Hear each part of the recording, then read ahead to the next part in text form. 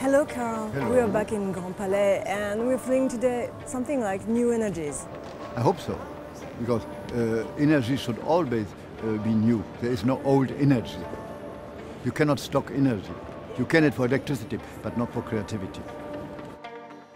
I put the pearls and oversized them and over displayed them because I removed the braids from the jacket. I removed the classic Chanel button. I put no bows. I put uh, no camellia and no quilted handbag. So it has to be something what instantly people can identify as Chanel. And I think it looks very Chanel without having all those very lovely commonplaces. Extraordinary, the round bag, the one she For was the beach. holding It's for the beach. beach. You need space for the beach towel, huh?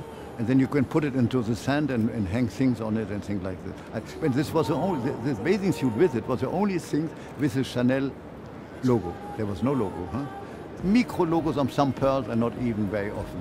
But in fact, I like the idea using nearly nothing what Chanel is known for and still make it look Chanel. So today it's very pure. Yes, clean, light, airy, fresh. It's all about volume, you see, but airy volume, because the materials are nearly, I wouldn't say see-through, because you really don't see, but it's like a kind of mesh, but it's cotton mesh most of the time. They are very modern technical uh, uh, materials too, but the basic thing, it's cotton in fact.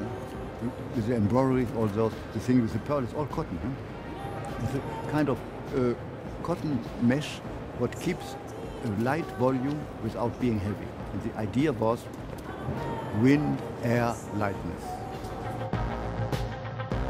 I think it's very important to be well dressed in a modern way all day over, not only for the evening. For the evening, we have the couture and we have the métier d'art for the very expensive, very. Good.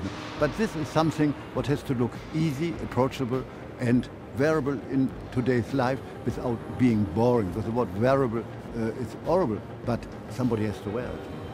Casual but chic. Hmm? Casual but chic. I hope so. I hope so. It's not up to me to tell you that it was chic. I thought it was, but I cannot say it myself.